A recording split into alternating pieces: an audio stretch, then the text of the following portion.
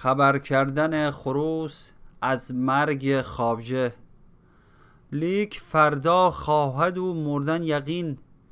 گاو خواهد کشت وارث در هنین صاحب خامنه بخواهد مرد رفت. روز فردا نک رسیدد لوت زفت. پاره های نان و لالنگ و تعام در میان کوی یابد خاص و عام. گاو قربانی و نانهای تنک بر سگان و ساویلان ریزد سبک. مرگ اسب و استر و مرگ غلام بود غذاگردان این مغرور خام. از زیان مال و درد آن گریخت مال افزون کرد و خون خیش ریخت. این ریاضت های درویشان چراست؟ کان بلا بر تن بقای جان هاست تا بقای خود نیابد سالکی چون کند تن را سقیم و حالکی. دست کی جنبد به ایثار و عمل تا نبیند داده را جانش بدل. آنکه بدهد بی امید بی امید سودها آنکه بدهد بی امید سودها آن خدای است آن خدای است آن خدا. یا ولی حق که خوی حق گرفت. نور گشت و تابش مطلق گرفت. کو غنی است و جزو جمله فقیر؟ کی فقیری بی عوض گوید که گیر؟ تا نبیند کودکی که سیب هست. او پیاز گنده را ندهد ز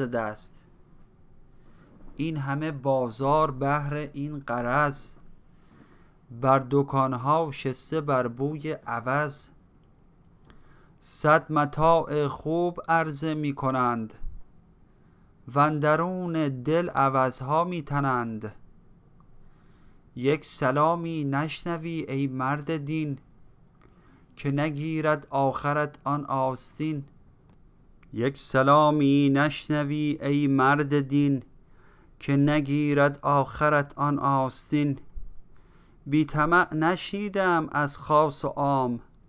من سلامی ای برادر و سلام. جز سلام حق هین آن را بجو. خانه خانه جا به جا و کو به کو. از دهان آدمی خوشمشام هم پیام حق شنودم هم سلام. وین سلام باقیان بر بوی آن. من همی نوشم به دل خوشتر ز جان. زان سلام او سلام حق شده است. کآتش اندر دودمان خود زده است. مرده است از خود شده زنده به رب. زان بود اسرار حقش در دو لب. مردن تن در ریاضت زندگی است. رنج این تن روح را پایندگی است. گوش بنهاده بد آن مرد خبیث می شنود او از خروسش آن حدیث.